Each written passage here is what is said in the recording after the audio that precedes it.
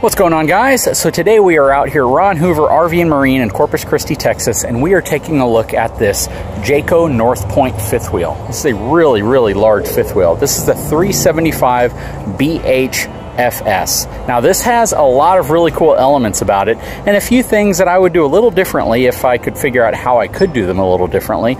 But I think you're gonna like this video. Hang tight, I'll be right back.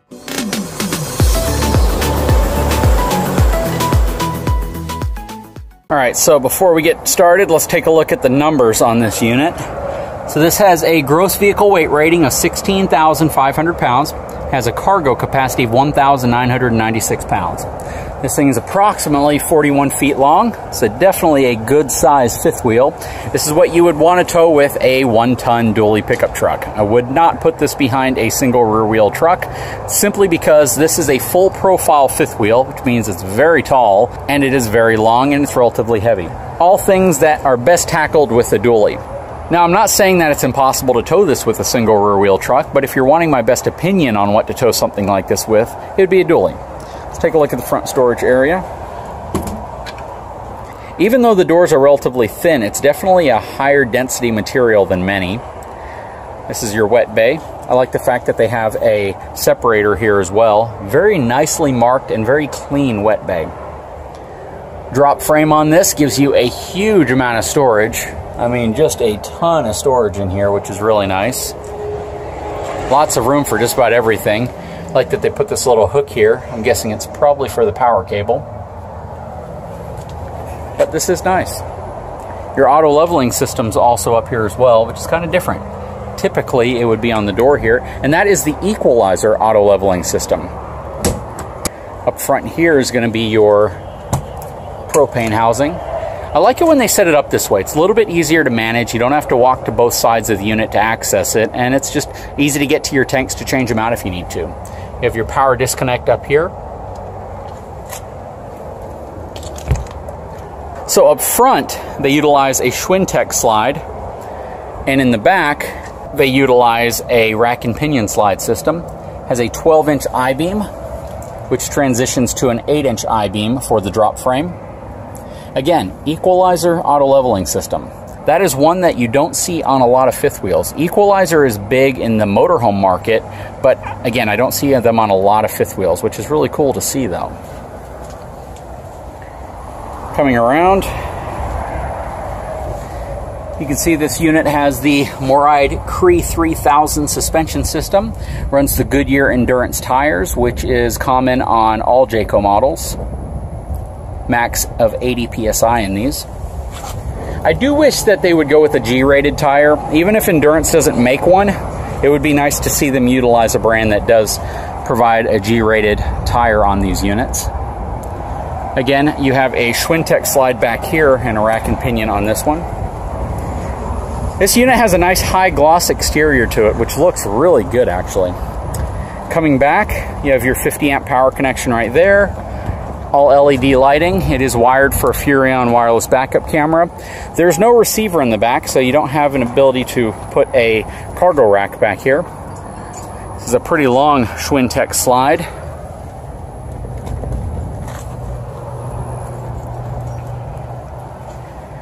Coming over here, you have your second entry.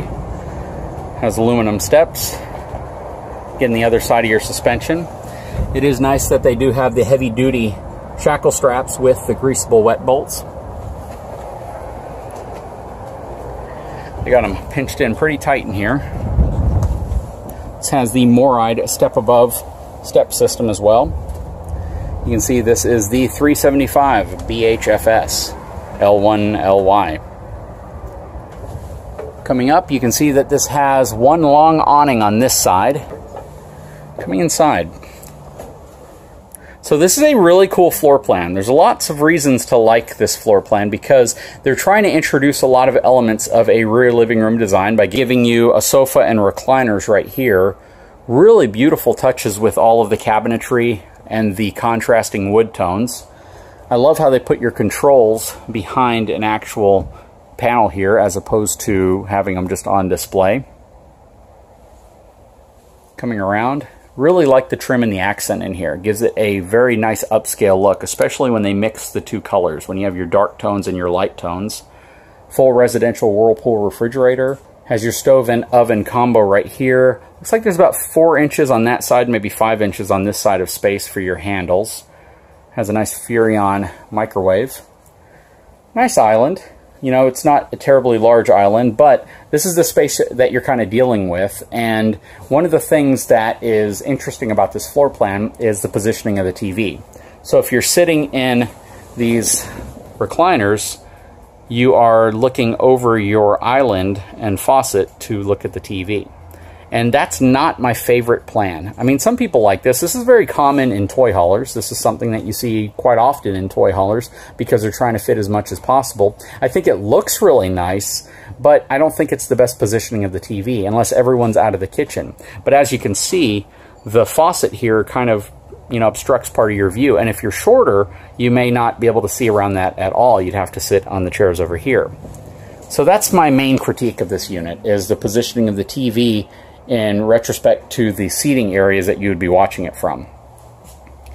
Coming over here, you have a booth-style dinette, which converts into a bed, which is nice, gives you extra sleeping space.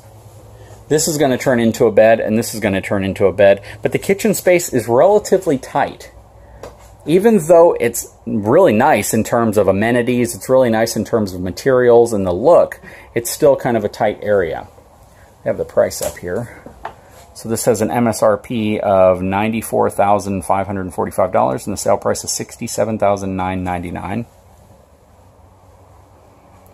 Let's take a look at the bunkhouse area. So this is what I'm talking about. This is beautiful. This is an amazing bunkhouse area.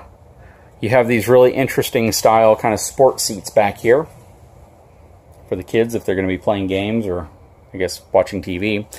Over here you have a really nice flip up bunk. They used mainly dark tones back here. You have a bunk right here and a bunk right there. So you can sleep a lot of people here and you can isolate them completely from the living area if you want as well, which is really nice. You have all your cabinetry here, nice little shelf, TV pre-mounted, and you have more cabinets up top. So you have a lot of space back here and a lot of storage. This will be a great office. You have a nice half bath here as well. It's a good size half bath as well. So you have your second entrance, really nice white contrasting tones here. So even though you have your darker tones out here, you have your lighter tones in there, but it looks really nice. Definitely the bunkhouse is the standout in this specific unit. You know, I do like this area right here, and if you're not watching TV and if you're simply entertaining, this is a great space. It's not bad at all. You have that L shape, which is really nice. The island definitely is, I think, a little too far into this space, and with the way that they kind of position the TV and everything, they probably could have even angled the island right here. I don't know if it would have fit. Well, it wouldn't fit when the slide's in, so that would be your problem. And that's something that you all need to think about anytime you are critiquing a floor plan. It's really easy to say, well, let's just move this back a little bit or over this way a little bit or tilt it a little bit. But whenever you button these things up and all the slides are in, everything kind of pinches up against everything else. If you left a toy right here, when this slide comes in, it'd probably crush it. Overall, it's a good layout. You know, it's nice, but this area does feel a little bit smaller than I'd like. I think they probably could have utilized this space a little bit differently. Overall, though, it accomplishes the task that they're looking for, and that is to seat a lot of people in this area, because you can seat one, two, three, four, five, six, seven, eight people, plus you could probably put a bar stool right here, and it gives you a good amount of space overall. Let's work our way up the steps. I love the fact that due to LCI kind of redesigning how they did their bath deck, and their bath deck is this elevated area right here that goes back, they now have the ability to essentially put laminate floor all the way up to the front as opposed to having to switch to carpet right there. Otherwise, you'd see a nasty seam. Definitely like the bathroom. The bathroom and the bunkhouse are fantastic in this unit. Bathroom's nice because it gives you a heck of a lot of storage. I mean, that is just a tremendous amount of storage. And it goes back a solid three feet. More storage up here. Really nice one-piece shower. Lots of countertop space. Nice upgraded basin. Really nice medicine cabinet and mirror assembly. This is just a beautiful, beautiful bathroom. And plenty of room in front of the toilet, which matters. Coming into the master bedroom, king size bed, plenty of space on each side of the bed, which is really nice. One of the sensors looks like it was being worked on, but that just slips back in and they'll put the screws on it, but it might have gotten disconnected. Has a standard Coleman system in here. So it has a whisper quiet system in the back and it has your standard air conditioning system up here, both of which are ducted. Really beautiful, beautiful closet. I mean, they have finished this thing out so well. This is the type of closet that I like to see. Plenty of room. You can even put a vacuum in here. You got a lot of space. If you take these shelves out, you can put a washer and dryer assembly in here, which is also really nice. But that is a beautiful closet. And I really like the size of the bed here. I like that shiplap board across the back, the trimming around it. And even over here, they've trimmed off the area where the TV goes and given you a four drawer dresser at the end of the bed. Honestly, this is a really nice fifth wheel layout. It really is. The thing that, for me, is a little bit confusing is could they have changed this space right here to make it a little bit different? Now, some people will say they could have swapped the refrigerator with where the TV is, but you can't because that wall isn't that deep and it goes into the half bath that's back there. What I probably would have done is I would have found some space in here to move the bathroom to a different location. Free up this area right here. That way we could have put the refrigerator there and put the entertainment center there and moved the island this way.